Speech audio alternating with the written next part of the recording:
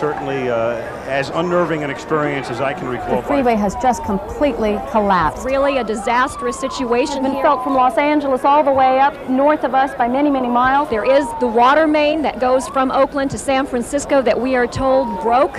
We have pictures of a fire in Berkeley. I'm told the location is Berkeley. From what happened here and from what I'm seeing, nobody was prepared for this at all.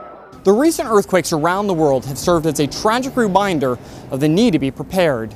Over the past 20 years, California has seen its fair share of earthquakes. From the Northridge earthquake in LA to the Loma Prieta in the Bay Area to the recent quakes in the Humboldt coast, all of California is earthquake country and we need to be prepared. California is a land of four seasons and one of those seasons includes earthquakes. I wish we knew when that season would be. California is very prone to earthquakes because it's just fissured by faults. Earthquakes is probably one of those events that's the most low frequency but the highest impact event that could happen to us. Experts say that preparing for these potentially devastating events should begin in your home. One of the leading cause of deaths in earthquakes is objects flying across the room, TVs flying across the room, bookcases falling on people. You can minimize the risk by ensuring that heavy household objects are fastened or anchored to a more stable surface such as a wall. Officials also recommend that you familiarize yourself with the location and operation of utility shutoffs in your own home. Shutting off utilities in the event of a major earthquake can prevent further disaster. And just kind of do a walk around of your house and identify anything out there that needs to be fixed and do it now before it's too late. Just as with a house fire, it is important that residents have an emergency plan in case of an earthquake.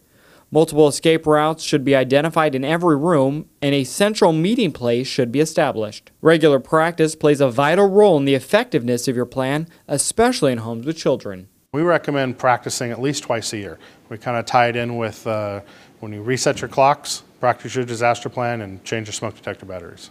And officials say that everybody should maintain a disaster preparedness kit. Water is the most important thing that we can have, and this is just a visual representation of some of the water people might need to have on hand for a disaster kit. We recommend building a disaster kit out of a trash can. You should have blankets, flashlights, food, first aid kit, things like that. Experts also urge people to keep supplies for pets and any necessary prescription medications in disaster kits. Following a catastrophic earthquake, um, our emergency services providers are going to be overwhelmed immediately. The true first responders are going to be the citizens. The citizens need to take steps now to prepare themselves, uh, prepare their family to help themselves and help their neighbors. From Riverside County, Daniel Berlant, CAL FIRE TV.